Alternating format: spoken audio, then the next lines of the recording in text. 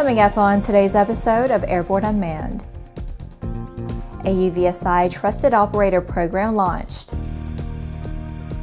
Yuneec unveils Typhoon H+. And Intel Shooting Star Mini designed for indoor shows.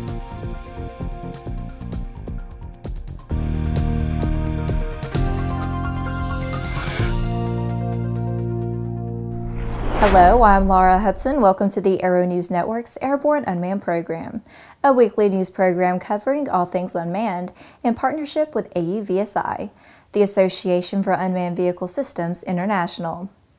AUVSI has announced the appointment of leading industry stakeholders to serve on a steering committee and as brand ambassadors who will develop the Trusted Operator Program for remote pilots and unmanned aircraft systems training organization.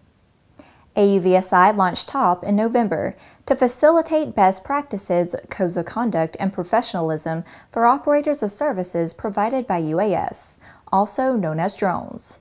There is no other organization that can drive and support the UAS industry with such a critical initiative than AUVSI, said Brian Wynn, AUVSI's president and CEO. As more commercial UAS pilots are trained and certified, they will join the aviation community's long-standing culture and commitment to safe and reliable performance. The initial planning for TOPS started earlier last year during meetings of AUVSI's Remote Pilots Council. RPC members and other remote pilots licensed by the FAA discussed the need for higher levels of professionalism through consistent training which would allow UAS operators flying for business purposes to further distinguish themselves in the market. In addition, RPC members said there is a lack of understanding of the legal implications involved in contracting UAS services that do not have certified and demonstrated safety and compliance protocols. This affects insurance cost, perceived market value for services, customer trust, and regulatory oversight. In the next Unmanned Minute, let's take a brief look at a few of the shorter stories that are making the rounds of the unmanned vehicle communities. Authorities in Westmeath, Ireland are using video captured by drones to identify and prosecute people dumping trash illegally in the county, leading to several convictions for the offense. The aircraft are being used by the Environment, Water and Emergency Services, SPC, to fight illegal dumping in scenic areas of the county. SolarShip and Arctic UAV Partnerships recently announced the signing of a letter of intent to create a joint venture to service Nunavut. The joint venture will introduce SolarShip technology to the Arctic, including hybrid aircraft aerostats and self-reliant hangars. Initial operations will offer data collection services using uncrewed aerial vehicles and aerostats to support Inuit data gathering to be used for developing strategies to adjust to climate change. Insitu has announced the successful completion of a flight demonstration for its ground-based UAS airspace situational awareness system. Under a program sponsored by the Queensland Government, Insitu, along with Boeing Phantom Works International, designed and developed and tested the Airspace Situational Awareness System in Australia. The system is designed as one of the optional layers of safety to allow broad area beyond visual line of sight capability for commercial UAS operations.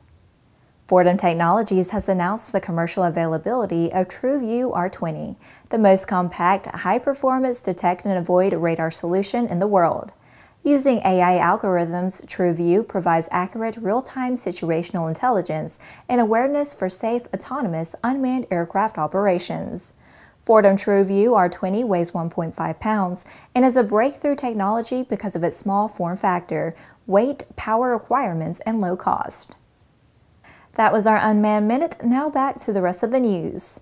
Yuneec International has announced the second generation of its proven six-rotor HEX platform, Typhoon H+. The second generation of Typhoon H features Yuneec's all-new, larger, high-stable six-rotor HEX airframe. The vehicle offers a 40% reduction in noise from previous HEX models, and stable flight and winds up to 30 miles per hour. Typhoon H Plus is equipped with a high aperture 1 inch sensor camera capable of 20 megapixel stills and 4K resolution video at 60 frames per second. The new model also boasts an improved low light performance compared to previous models. A continuous rotation gimbal combined with retractable landing gear provides seamless 360 degrees unobstructed views. Typhoon H Plus comes equipped with Intel RealSense technology, a sophisticated collision avoidance system that detects obstacles and intelligently navigates around them. Additionally, the Typhoon H Plus is accompanied by a newly redesigned Android-based ST16S controller, which includes a large high-brightness 7-inch integrated display and HD 720p video downlink for stunning real-time video reception. The Typhoon H Plus will retail at $1,800 and is slated to be available in the first half of 2018. Remember the drone light show presented at the Super Bowl last year? Though pre-taped, it was pretty impressive. The show was executed by Intel Shooting Star Drones. And in a keynote address at the Consumer Electronics Show in Las Vegas, the company said it has developed a variant of the Swarm drone that is safe for indoor use. But unfortunately, you can't buy one. The Shooting Star Mini can locate itself in space without using a GPS, according to the company. The Verge reports that during the keynote, a swarm of the small drones performed in the arena, dancing to Kygo stargazing. But Intel CEO Brian Krzanich said that the drone won't be offered for sale to the public. They are intended for use by presentation companies that want to put on an impressive indoor light show. The aircraft follow a pre-programmed routine and do not need to be controlled individually. A single operator can fly up to 100 of the small drones at a time, according to the company. So, while you probably won't be able to go out and buy a swarm of 100 tiny drones anytime soon, they are expected to be a common sight at major presentations in the future.